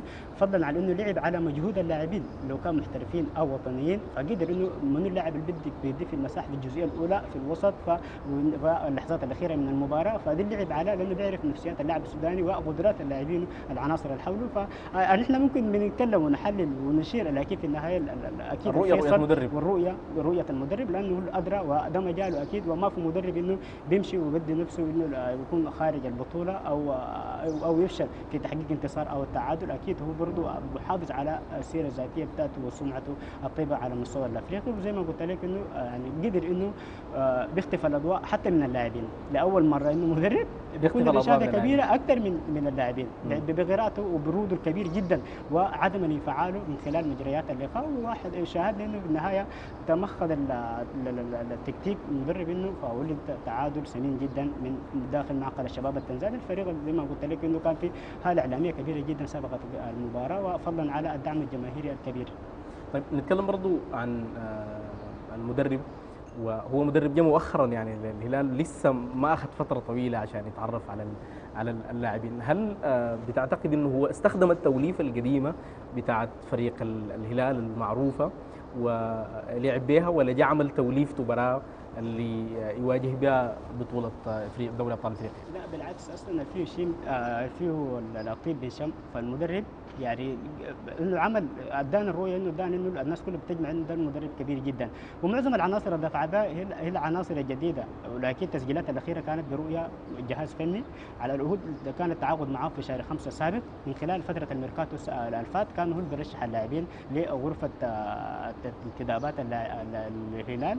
وعلى ضوء تم التعاقد مع اللاعبين. فما في عنصر غريب عليه في في في في, في تشكيلة الهلال. يعني كل اللعيبه انه شاهدهم قبل كده وتابعهم زائد إنه لعب مباراه مباراتين في كأس السودان لعب مباريات ودية ثلاث مباريات ودية من الوزن الصغير أمام الأشانتي كوتوكو مباراتين أمام سيمبا التنزاني فضلا عن دون بوسكو المباراة الأخيرة في لوبومباشي فما في ما في غرابة جدا عليه. نعم حداثة تجربته بيحتاج لصبر كبير جدا لكن مع استمرار الهلال في البطولة لو كان على مستوى الأبطال أو الدوري ال- ال- حيكون انسجام أكثر حتكون النتائج الايجابيه أكثر فاكثر دخول أبو 20 التشكيلة. هل شكل شكل مفاجأة بالنسبة للمتابعين والجمهور؟ لا أكيد. لكن ال- ال- ال- الدخول المفاجئ لمحمد عبد الرحمن آه، عفوا.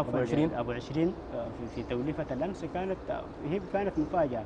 لكن كان في عياء ظاهر كان في إصابة على مستوى العنق بالنسبة للحارس الايفواري آه، فوفانا في في ال- في الميران الختامي اللي اجرى على ملعب المباراة. وتم تداركه والتدخل من قبل الوحدة الطبية. يمكن حتى معلش المقاطعة. لكن يعني لا ما أنا أنا أجيك. أنا عارف انه حتقول لي في ال line up ظهر إنه ظهر، أيوة. okay فقام الوحده الطبية قامت باللازم ادت الضوء الاخضر للمدرب الاقحام به نعم. فترة الإحماء ظهر الأعياء أكثر واللاعب آه، يتأثر ما قدر إنه بخاطر وقال إنه مصاب اتسحب في الفترة فتم- الأخيرة. تم سحبه عقب عملية الإحماء وتم الدفع باللاعب ابو 20 ابو 20 زي ما قلت لك إنه برضه اللاعب تخط له إنه بديل أو تخط له لاعب في نفس ال- ال- ال- الخانة بتاعته في النهاية ده ما أكيد عيشه. أكيد هو برضه بيشعر بالخطر وبيديك أعلى ما أكثر ما عنده. فده دي مشكلة اللاعب دي ال- الحاجة الصح في اللاعب السوداني عموما. كل ما أنت جبت له المنافس وخطيته أمام عينه إنه بقى يلعب أنت بالاحتياط أكيد حتدي أكثر ما عندك. بنصف الفرصة ممكن تطلع على كل الفرص وتثبت أو تؤكد إنه أنت الحارس الأول. ما على علي عبد الله ابو 20 زي ما قلت لك آه، نفس ما قلناه عن محمد عبد الرحمن. ينطبق عليه بالضبط باعتبار إنه كان حارس المنتخب الأول كان عليه ضغط كبير قبل ما يجي محمد المصطفى حارس المريخ ال- الوظيفة الأساسية في حراسه المرمى عن المنتخب السوداني. الضغط كبير شكل له ال- ال- ال- الهاجس بالنسبة لعلي عبد الله عبد عبد العشرين وحصل ضرب زي ما قلت لك في الفترة اللي فاتت. لكن من خلال فرصة الأمس اتأكد اتأكد علوك عبو واكد خبرته كبيرة جدا سخر كل إمكانياته قراءته للملعب. أنا ما بلوم على حتى على الهدف اللي مرماه من قبل كلاله. زاوية الرؤية كانت بعيدة خالص وحتى التصويبة كانت مباغته وهو ما كان مارق من المرمى بالطريقة اللي ممكن بيجي الهدف. كان في ولكن كلاله ركز على الزاويه الضيقه وجاب جول فممكن أي حارس بي- بيتلج مرماه هدف زي هدف كلاله لأنه كلاله لاعب كبير لاعب لماح سخر كل إمكانياته وجهده وحواسه وأحرز الهدف. لكن عموما كانت المفاجأة في محمد عبد الرحمن لكن محمد عبد الرحمن فاجأ الجميع بثباته الكبير. الناس اللي كانت تنتقده زمان بدأت الآن تصفق وتشيد له تكلم برضو عن بدائل الهلال. هل تعتقد إنها كانت الكرت الرابح في تعديل نتيجة المباراة وثبات الهلال على النتيجه ال- حتى ختام المباراة. وهل وفق المدرب في اختيار بدائل ناجحين؟ آه بكل تاكيد برضه أنا ثاني حرجع عليك عن المدرب وحرجع عليك عن فلوران. فلوران لو لاحظت في كل مباريات الهلال ال- ال- ال- أقول الودية مو مباراة سيمبا تنزاني هدف احرزه في الشوط الثاني عن طريق اللاعب آه عن طريق اللاعب جومانو الهدف الوحيد أمام سيمبا التنزاني هنا.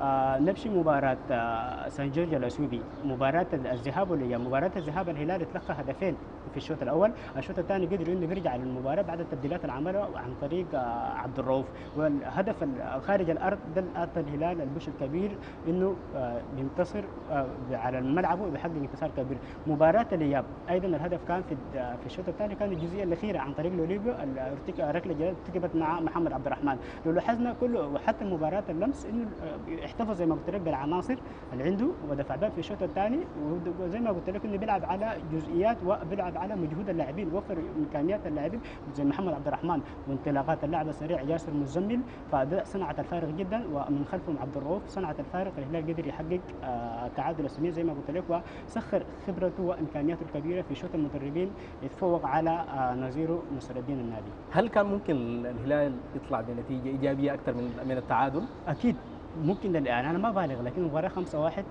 4 1 فدي دي كان مفروغ منها. لكن زي ما قلت لك عندنا المشكلة بتاعت الفينشن عندنا المشكلة بتاعت الهلال. حتى الآن بيدفع فاتورة عدم أنت قاعد التعاقد تتكلم عدم التعاقد طاهر عن. عن عن ند غير تقليدي. يعني أنا بت- الشباب التنزاني فريق قوي جدا. فريق قوي جدا فريق كبير. لكن الهلال حتى الآن بيدفع فاتورة عدم التعاقد مع مع مهاجم رقم تسعة. مهاجم سوبر. الهلال لو كان عنده مهاجم تسعة مهاجم سوبر كان الليلة ريحنا كثير وعمل ال finishing مع كامل احترامي لبقية المنظومة بقيه اللاعبين. بيتكلم عن الند غير الند قوي جدا. على الشباب التنزاني. زي ما قال فلوران برضه في قناة عزام بعد المباراة آه، سألوا آه، المذيع عندنا عن المباراة مجرياته وكذا بتاع هل كانت سهلة أم صعبة؟ قال لا إحنا في الأبطال ما في مباراة سهلة. وفعلا. لكن أنا أقول لك إنه ال- الند للأسف يعني ودي المحمدة ممكن أنا أقدر أقولها إنه بيعتمد على لعيبة معينين بيعتمد على زي اللاعب زي كلالا فالضجة الإعلامية كلها كانت كلالا آه، فده الإشكال الكبير عدم الاعتماد على اللاعب الواحد فاليد ما بيصفق فتم آه، تقبيل أو إغلاق مساحات أمام اللاعب كلالا غير الهدف الوحيد اللي حرزه بعد كان ما شفنا له أي آه، فرص أو خطورة كبيرة جدا. لأنه انقطع عنه الإمداد. في الوسط كان الممولين له فيصل سالوم وخالد إيشو. فعلى على الجناح الأيمن كان إيميرسون. فتم إغلاق المنافذ أمام اللعيبة ديل وقطع الإمداد عن اللاعب كلالا فكان ما في خطورة كبيرة جدا على دفاعات الهلال. فدائما انه الفريق لما يعتمد على لاعب واحد ف يعني بواجه ممكن بيطلعك من مباريات لكن حتكون المباريات الكبيرة. كل ما مشيت في مراحل معينة حتعاني كثير جدا. وزي ما قلت لك الهلال ما زي زعلان رومبيك انك انت بتسجل ست أهداف لذهاب واياب تسجل هاتريك في مباراة وحيدة. فهذا الهلال عنده مهاجمين عنده مدافعين عنده لعيبة وسط عنده ناس بيقفوا صح وبيعرفوا مناطق القوه والضعف فضلا عن قراءة المدرب فلوران. لسه ما زال عندنا كم محور في آه، ما يلي مباراه الهلال لكن خلينا ننتقل للمريخ والاهلي الطرابلسي وفوز المريخ آه، المريخ ممكن في آه، ثلاث شيكات بكل تأكيد نجح إنه بحقق انتصار ثمين جدا آه، هدفين دون مقابل انتصار كبير جدا. وخلينا إنه نقول الحمد لله على سلامه المريخ إنه بيلعب على ملعبه آه، أو على آه، الأراضي السودانية على ملعب قلعة الشيكان. اللي وجد مؤازرة جماهيرية كبيرة جدا ومجلس الإدارة الجديد ولجنه التسريب بقياده أبو جبين استقبلت الانتصار بهدفين فهذه حاجة كويسة ودفعه معنوية كبيرة جدا لكن الخصم آه، ما سهل آه، شفنا. ممكن أنا بقول يعني ألوم الغرايري فترة ال- الإعداد الفترة اللي فاتت كلها وفترة في الدوري وما إلى ذلك إنه ما قدروا إنه بس لتوليفة معينة بالنسبة تخدم المريخ في البطولة الأفريقية. فده إشكال كبير جدا. فشفنا اجتهاداته وغيراته لله لكن مجهود اللاعبين أكثر لعب على الانتصار الأخير اللي حققه على الفريق ال- الأهلي طرابلس الليبي. لكن المباراة قطعا ما حتكون سهلة جدا. الاهلي الليبي فريق كبير جدا عنده عناصر. وفضلها عن التصريحات الأخيرة والمحلل الأخير اللي بحذر إدارة الشباب ما لم آه، إدارة الأهلي ما لم تلعب بحذر كبير وتلعب خلف تحت الطاولة وبعيدا عن أرضية الميدان. فربنا يجيب العواقب سليمة ولكن كانت أول البشريات إنه تعيين كاف الحكم النخبة وحكم رضوان جيد اللي حاولوا لقب كبير جدا. فقبل كده شفنا الأحداث الكبيرة شهدتها مباريات الهلال والأهلي المصري على ملعب الجوهر الزرقاء وكان كان يعني ال- ال- ال- القدح المعلى للحكم آه، رضوان جيد. الحكم يعني له هنات كبيرة جدا. فربنا يعين ال- المريخ في المرحلة المقبلة. مباراة ما سهلة جدا وخصم ما سهل فضلا عن الظروف السبقتها لكن آه نحن واثقين إنه لعيبه المريخ نجوم المريخ قادرين على تجاوز المرحله إن شاء الله والترقي الادوار المقبله لأن السودان بكل صراحة بيحتاج الفرح بيستحق انه انديته تتقدم تحقق البطولات آه لو كان على الصعيد ال- ال- ال- الكونفدرالية أو الأبطال. إذا نتكلم عن افتتاح النسخة 28 من الدوري الممتاز واللي بتعول عليها آمال كثيرة جدا ال- السنة دي لأنها تكون منافسة قوية ومميزة بين ال- الفرق نشهد فيها تأهل عدد كبير جدا من الأندية آه، السودانية للمشاركة في الخارج واكتساب آه، لاعبين جدد في تشكيل تشكيلات الهلال والمريخ وتنقلات اللاعبين ممكن تضيف للدوري الممتاز نكهة ورونق. والله ما نتمناه شيء ما يحدث شيء آخر يعني إحنا للأسف الكبير حتى إحنا ملاعبنا ما يعني ما كل الملاعب مجازه إنه بيلعب على بطولة الدوري الممتاز ناهيك بطولة الأبطال أفريقيا. مواهب على اللجنة المنظمة لبطولة الدوري الممتاز. نحن حتى الآن ما عندنا يعني ما عندنا مجسم كاس خاص ببطولة الدوري الممتاز. ما عندنا كرة رسمية وما عندنا يعني يعني رعاية كبيرة جدا أو حتى الآن يعني التلفزة ممكن قناة النيلان لكن حتى الآن في في رحم الغيب يعني ما في جاهزية ما في كبير حتكون معاناة كبيرة جدا باعتباره الرجعه الهوم أوي في ال- في بطولة الدوري الممتاز نظام نظام ال- ال- ال- ال- ال- الجديد أو النظام القديم السابق جدا. فترة جائحة كورونا كان التجمع كله في الخرطوم. فده ممكن تدي دفعة كبيرة وتدي انعاش لفرق الولايات. لكن آه، بدل المقومات نحن بنتكلم بحسابات إنه الاتحاد السوداني كره القدم لجنة المسابقات. فنتمنى إنه نسخر كل إمكانياتنا امكانياتها وبطوله الدوري الممتاز تصبح بطولة مشاهدة على مستوى آه، عالي العال وحنشوف الافتتاح في مدينة آه، النهود بين آه، صاعدين حيدوب النهود والرابطة كوستي. ونتمنى أو آه، نستبشر خيرا بإذن الله. ولكن البطولة يعني ظل الموسم يعني فسبقتها حتة ال- التأجيلات باعتبار إنه الأندية هلال المريخ خلال ساحه المشاركة حيتم تأجيل المباريات كالعادة.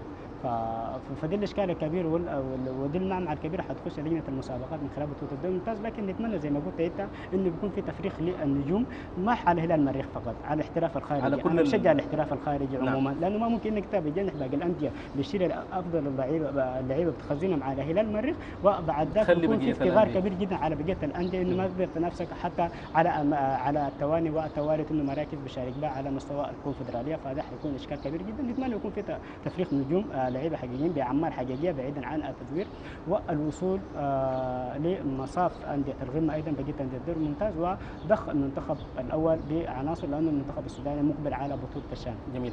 آه سريعا آه خسارة هلال بور سودان البيراميدز المصري وقبوله للعب آه مرة أخرى في في مصر آه قراءة سريعة آه، بكل. اسف يعني قبول اللعب آه، خارج السودان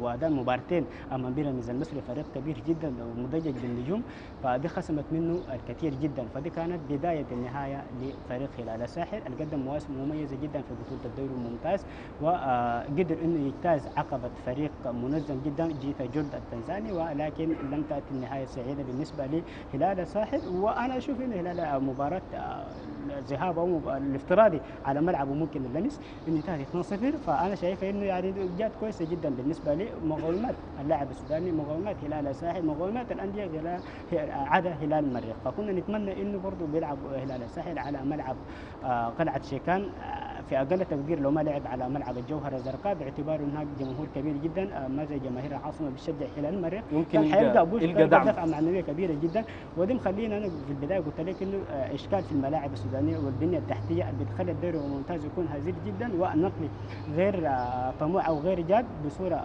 ما ما لائقه ملعب السودان لو كان في اتم الجاهزية مجاز من قبل الاتحاد الأفريقي هلال الساحل ما كان دفع الفاتورة الباهظة دي وكان لعب. على ملعبه وكان وجد جمهور وكان ما غريب وكان حقق نجاح بغض النظر عن المنافس منه. لكن في النهاية دي من المسلمات وخلاص بيراميدز المصري وهلال الساحل فالفوارق بعيدة جدا في عالم كرة القدم ما مستحيل ولكن نتمنى إنه تدارك الموقف من خلال مباراة اليوم كثر خيرك. شكرا جزيلا آه، الطاهر صالح الصحفي الرياضي رافقتنا في التحليل الرياضي.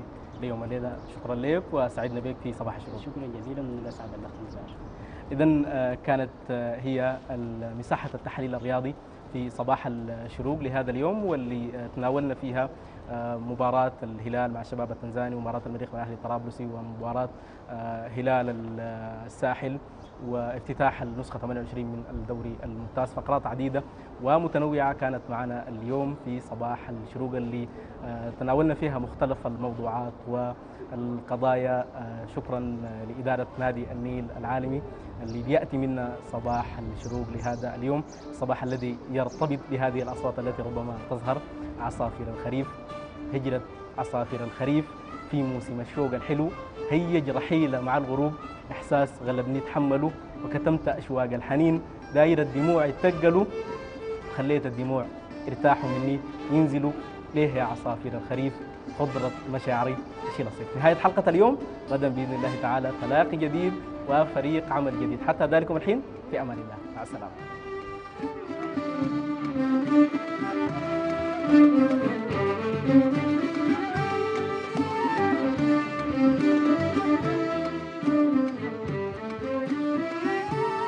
هجرة عصافير الخريف في موسم الشوق الحلو.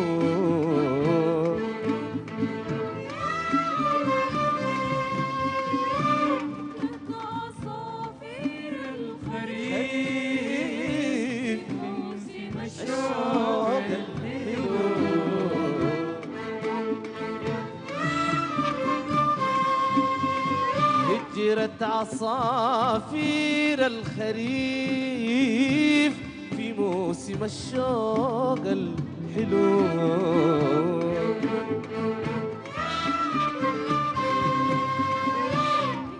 عصافير الخريف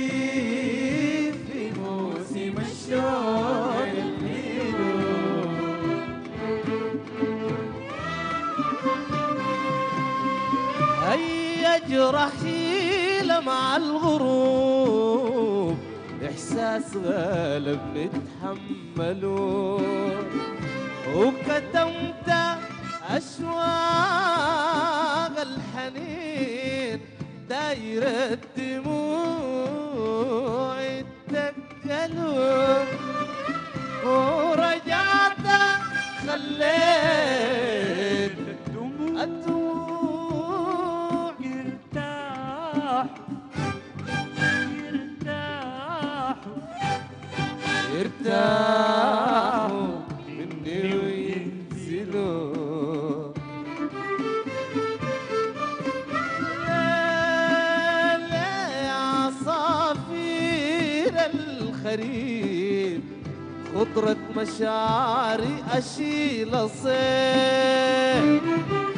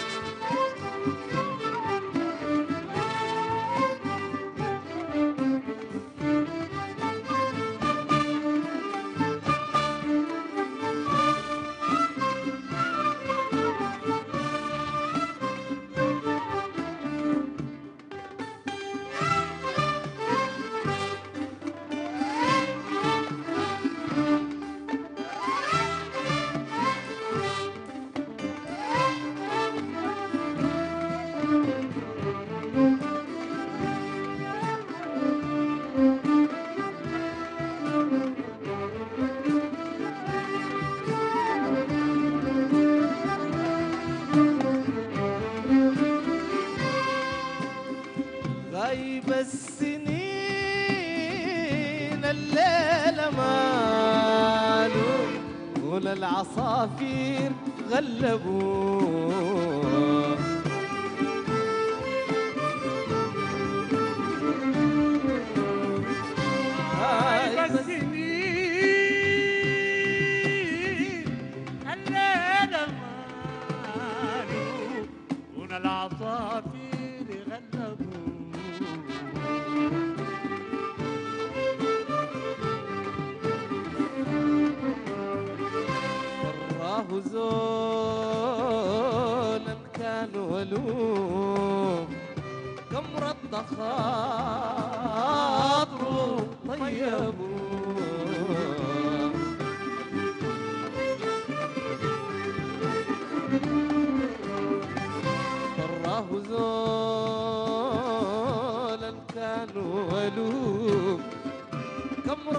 call.